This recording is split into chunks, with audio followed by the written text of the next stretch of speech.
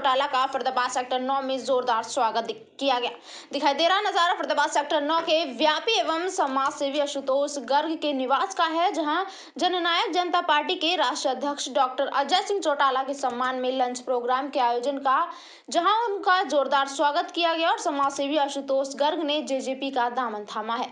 उन्होंने बताया कि डॉक्टर अजय सिंह चौटाला हमारे राष्ट्रीय अध्यक्ष हैं, उनके मान सम्मान में लंच का प्रोग्राम रखा गया है और मैंने समाज सेवा का नया रास्ता ढूंढा है। वहीं जेजेपी जननायक जनता पार्टी के माध्यम से लोगों की समाज सेवा करते हुए लोगों की अपेक्षा को पूरा करने के लिए कोशिश करूँगा। दुष्यंत चौटाला हमारे युवा डिप्टी सीएम है। अजय सिंह चौटाला का काफ़ी लंबा उनका राजनीतिक में अनुभव है। इस वजह से 100 परसेंट पार्टी मज़बूत बनेगी। पत्रकारों से बात करते हुए अजय चौटाला ने कहा कि कोरोना काल और किसान आंदोलन के बाद जन आशीर्वाद कार्यक्रम सबसे पहले फरदाबाद में स्टार्ट किया है और सभी नब्बे विधानसभाओं के शहरी क्षेत्रों में जाएँगे और अपनी पार्टी की नीतियों के बारे में जनता को बताएँगे।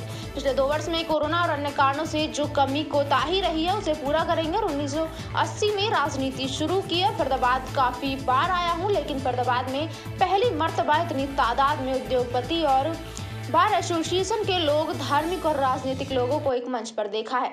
आज यहाँ पे तुलसी पूजन कार्यक्रम रखा गया है। हमारे गुरुदेव परम संत श्री आसाराम बापू जी की प्रेरणा से ना पूरे विश्व भर में 25 दिसंबर को तुलसी पूजन दिवस मनाया जाता है। इसमें हम तुलसी की पूजा करते हैं, पूरी विधिवत तरीके से, और तुलसी वितरण भी कर रहे हैं हम करीब करीब महीने से।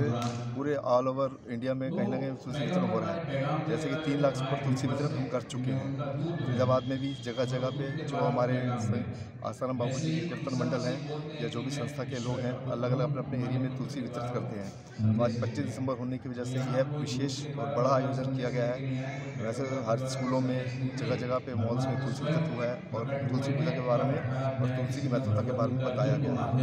तो उसी के उपलक्ष्य में आज मेन जो विशेष दिवस होने की वजह से आज तुलसी पूजा का बहुत कार्यक्रम रखा गया। तो तुलसी पूजन सिर्फ़ ये बल्लभगढ़ में फरीदाबाद बल्कि बल्लभगढ़ में आयोजित किया गया या पूरे ऑल ओवर इंडिया के? ये पूरे ऑल ओवर इंडिया में हो रहा है। जहाँ जहाँ भी संत आसाराम बापू जी के साधक और जहाँ जहाँ उनके अपने आश्रम हैं वहाँ पे सभी संस्थाएँ अपने अपने एरिया में कर रही हैं। जैसे हम लोग बल्लभगढ़ में कर रहे हैं तो इस तरह हर कोई गुजरात में अलग पंजाब में अलग महाराष्ट्र में अलग राजस्थान में अलग सभी अपना अपना तुलसी पूजन कर रहे हैं और तुलसी वितरित हो रही है। तो तुलसी वितरित करने का मकसद क्या है?